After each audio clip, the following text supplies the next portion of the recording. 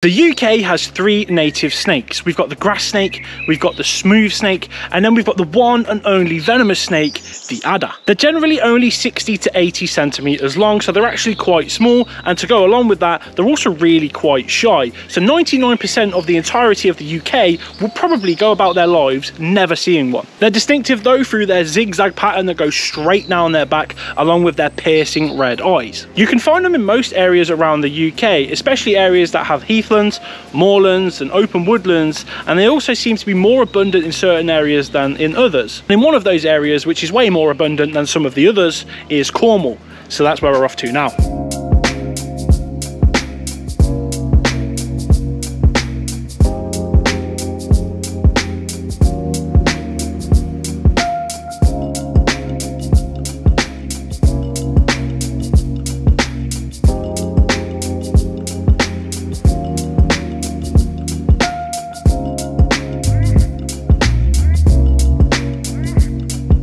Look at this. This is pretty cool. So this right here is a bunker from a long, long time ago. And I've managed to uh, convince this little idiot to get inside it.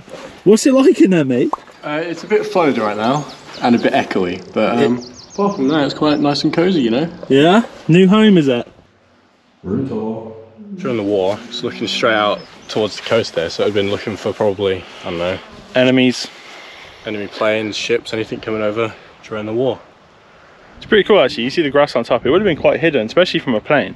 Yeah. Like it was coming like straight over the channel there. It's pretty weird. It's pretty cool to see. There's also a bunch of old like warplanes and stuff. All, there is, yeah. Over in that direction, there's a load of uh, scrap planes and that. Oh, and we've got a little squad coming towards us.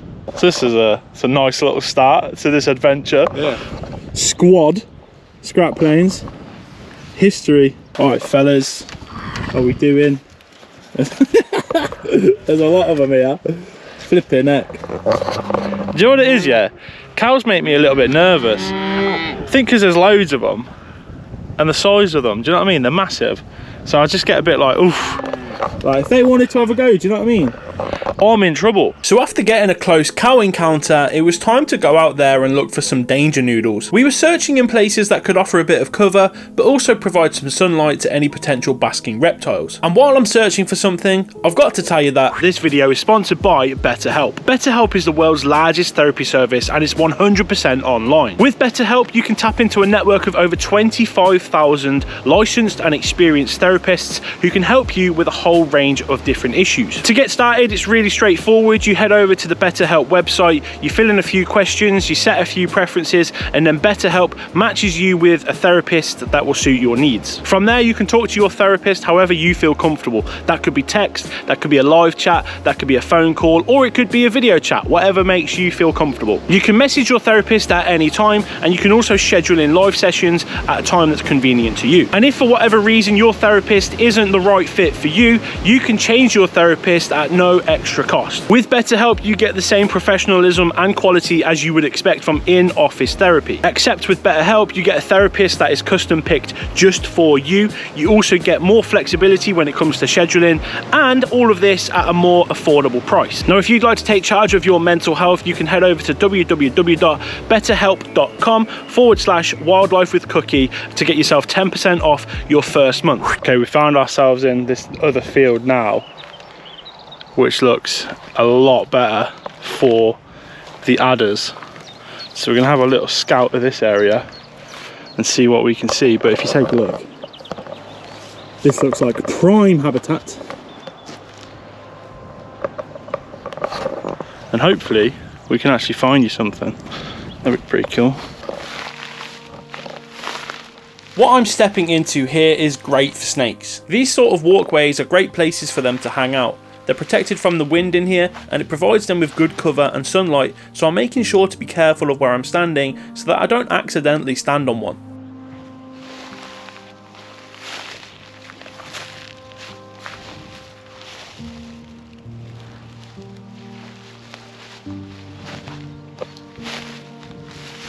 Well then, I didn't find anything. Jay, did you find anything? Okay, no others so far.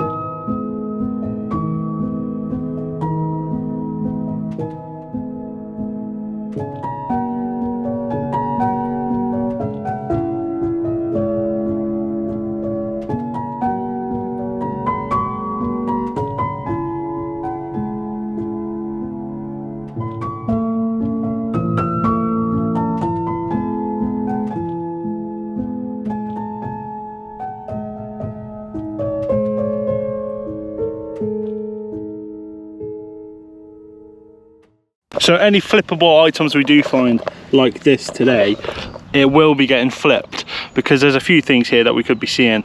Slow worms is one, that'd be really cool. Could even see some grass snakes. And we've also got the chance of seeing the adders. Obviously we want the adders and they could be under stuff like this. Or if there's any corrugated sheets knocking about, have something like that. Any felt sheets, anything like that. That'd be really cool. So if we see it, we're flipping it. You ready? Yeah. Anything? Uh, a worm. A worm. Wow. Is it worth it? No. on the drive over to this area something really interesting happened actually. Now we were just driving down the coastal roads but in the middle of the road was a bit of roadkill. Now that's not the interesting part it's actually pretty grim but the roadkill in question was a polecat and they're so elusive, so rare in this country, and that's actually the first one I've ever seen. Now, we didn't get any footage of it, just because it's a, it's a pretty grotesque looking squished animal in the middle of the road, but just wanted to let you know, I've seen a polecat in its squished form at the side of a road, which, I don't know, like, just cool to know that they're down here, but at the same time, it was sad to see it dead, but yeah, it's just, I thought I'd let you know because it's really interesting. There are polecats around here. Anyway, back to the adder chase. We're in another field. Look, here you guys. I don't know if you can see it, but there's a little fox cub right there. Just running across. We haven't got the right lens on. I'm going to try and get it on this camera here quick. Oh, that's amazing. So we've got a fox cub right here. Um, we must be near a den or something. I can't show you on the GoPro, but I got a, probably a tiny bit of footage just then in the distance. And obviously he's changed lens to uh, film the plants and as that happens there's a little fox cub running about. How annoying is that? He had a little deliberation a minute ago and he was like well do i need this? Do, do I, I should just have the the macro lens on. I didn't argue with him. I probably should have. You know, it's so funny because you would have actually filmed that wouldn't you if you had the proper lens on Yeah, I've been looking for like foxes and fox cubs for ages as well. So that was really cool. Um, I don't know how do we approach this now, mate. What do we do? Should we should we walk down there very slowly to the side? Should we? Stay low, stay to the side, I guess, and just sit around and see if he comes back out, maybe. yeah, because that'd be wicked. Obviously, we got a tiny bit of footage uh, for you there, but nowhere near as good as what it would be if we had the big lens on here. So we're hopeful, fingers crossed, if that can come out again, that'd be amazing. Like proper, proper cool looking little baby fox.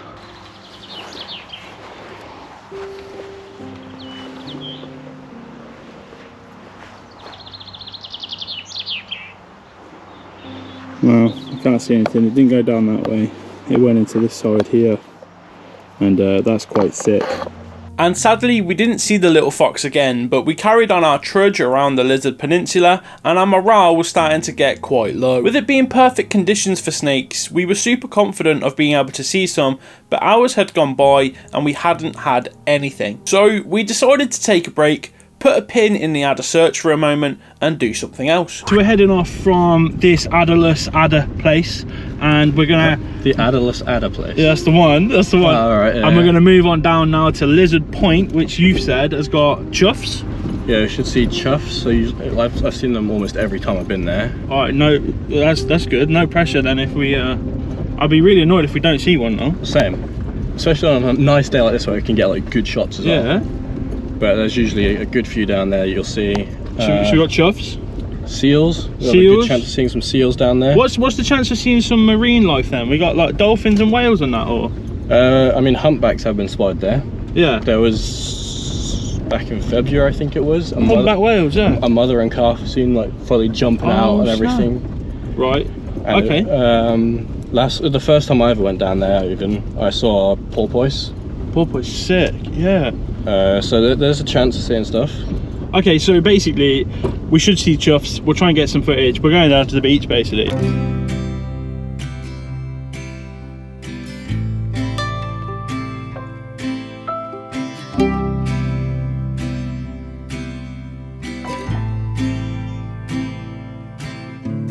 thank you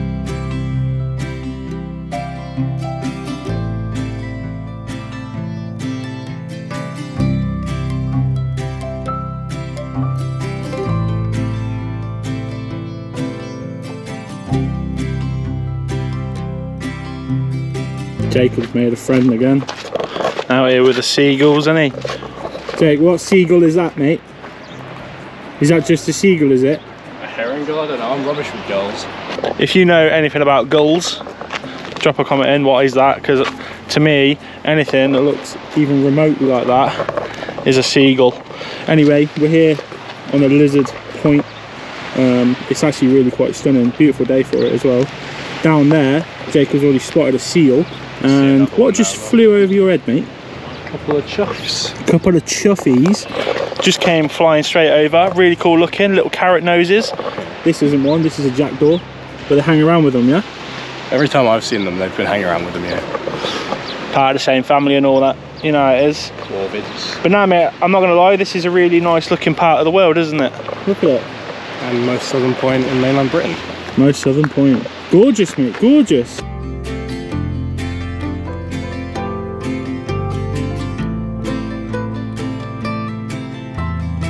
Just down here in the water, we've actually got a seal bottling up and down. Now, I mentioned this before when we did the video about the great white shark and um, how seals, when they're in the water and like they're sleeping or they're resting or something, they literally just look straight up. It's one doing it right now, um, which is really cool for me to be able to show you that because a lot of people who are, let's say, unaware of what they're looking at in the ocean could look at that and think it's a fin of like a, a big shark or something like that. But it's cool to actually see this and be able to show you and prove it and all that sort of stuff. So Jacob's just getting in on the footage now, and uh, hopefully it shows it quite well.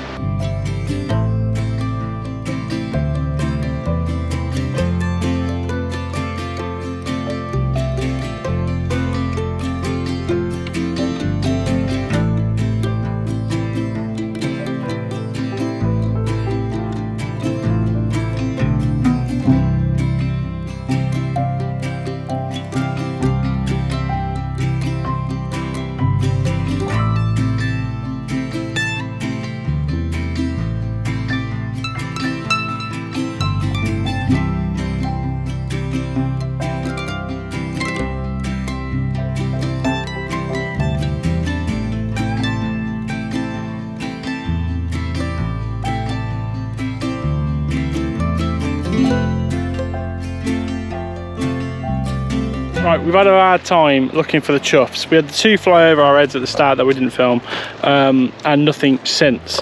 But something, something weird has just happened. So I just got chatting to a geezer with a camera, and I said, "Do you know any spaces to see adders around here?" And he said, "Yeah." And he said the spot that we had just been to, and I was like, "Oh, really?" Like, we couldn't find anything. Then he goes, "Well, did you check the tins?" And we were like, "What?" He's like, well, did you check the tins on the floor? I was like, what tins? So he's told us that there are these like corrugated metal sheets um, lying down, and get this, next to the car park. So we were right next to it, apparently, these like metal tins, and we didn't know they were there. Now, if you're unfamiliar, for reptiles, they flipping love metal tins because obviously they get really, really warm and they bask underneath them. So, what we're going to do When the little geek from down here has finished filming some seagulls and that, I'm going to tell him and then we're going to head back to where we were looking for the adders and lift some tins and hopefully we will find some adders. But that would be so frustrating, like just sort of rocking up to that spot where it could have been like two minutes and done, and we've just wandered around this place for hours and saw nothing. But oh, here you go. Look down here. You might be able to see Jacob. He's down there. He said it's a fulmar, something like that. Again, it's a seagull to me. Do you want to know something really, really, really, really funny? What? You know where we were? Yeah. Did you see any metal sheets? No. I just spoke to someone who's walked past here. And they've said there's metal sheets, What, back where we were? yeah, for the adders, Oh. and we've missed them. Would Okay. you Would you like to go and see them? I think we're going to have to make a trip back, aren't we? Yeah. Flipping heck, mate. This is off-roading. Linda's not built for this. This is not the road for Linda. Jesus, look, look, it's like the moon, isn't it? Look at all the craters. We've got some tinnies to flip. Do you reckon we're going to see an adder right here, mate? I mean, it's sunny. We've been told there's a good chance. I think we might actually have like some luck on our side here. Some reptiles, some reptiles. Slow Something at worms, least. lizards, just something. That would be good, wouldn't it? Slug. Oh, which one shall I first? Then? Which one is, there's four, right? Do you want, Shall which one do you want? it's closest? Yeah, we'll go this one. Go then. Ready? Let me get my shadow out of the way. Moment of truth. We got another. We've got a little baby adder. Oh wow! Can you hold that? Look at that right there. Oh, he's going. He's going. He's going. There's a little tiny adder. He's moving off into the into the, the shrubbery right next to it now. But that was good. Good flip. We got an adder. We, Did- we got what we came here for. Did you film it? Yeah, it's a bit dark, but you know you can. You can see that. it. You can see it. I think you might have got it on the GoPro as well, so that's good. We got one anyway. Actually, do you know what? That was really hard to see. Like, It was really well camouflaged. he's really well camouflaged. Like surveying that little, that little bit then, and I was like, Nice to know that I got to go over to that one. There's a venomous snake there. like it was. I lifted it up and I was like, oh, there's nothing there. And then right in the centre, he's right there. Sick. Okay, next one. Here we go. Number, two. Anything? I can't see anything here. Mm, Yes, there's over on the left. There's Can you- another one. Can you hold it again? Yeah, of course. Wow, look at this. We got another adder. Small ones, aren't they? Really small. Yeah, little babies. Yeah. Finding an adult would be sick. Like a big old adult. All right, two and two. Ready? Okay, here we go. Flip number three. Yep. Yep. Yeah, right at the back. Cool. Three and three. Should we go do number four? Let's do it. Mate, it's an adder frenzy. This is. I was. Do you know what? After that big long walk I've seen absolutely nothing, I was like, right, this isn't gone to plan, has it? So never mind. But here we are with the adders next to the car park. You know, this video could have been done in about three minutes. It really could have. Flipping heck. Right, anyway, number four. Ready, flip number four coming in. There's Slow slow worm. worm. Ah, oh, sick. Try oh, a toad. So this right here is a slow worm. This is a legless lizard. Really, really cool looking thing. So small. Actually, this is probably rivaling the size of the adders we've found. But a really cool little reptile we have in the UK. So there we have it. After spending a big portion of our day searching around the site for adders, we just needed to go two meters away from the car park to find some, and find some we did. It's never boring seeing the UK's only venomous snake, and while these were quite on the small side, they are still beautiful all the same. Now you may have noticed in one of the clips that one little adder had a cloudy looking eye. Don't be alarmed by this, this happens when snakes are about to shed their skin. Basically, what you're seeing there is a fluid buildup between the old skin and the new skin, and eventually that will allow the old skin to come off as it sheds. It was also really cool to see the slow worm, and it was so gentle as we picked it up to have a closer look, and then set it down again to get back on with its day. All in all, it was a great day on the Lizard Peninsula looking for the UK's only venomous snake, and being rewarded with a whole host of cool and interesting things to see. This has been part one of four of my trip to Cornwall. Stay tuned for the next episode where we go snorkeling and rock pooling in search of sharks and Britain's rarest crab. And if you'd like to get in early, then consider joining the Patreon to get behind the scenes photos and video, along with early access to videos amongst other things. For now though, I've been Cookie, I'll see you in the next one, take care.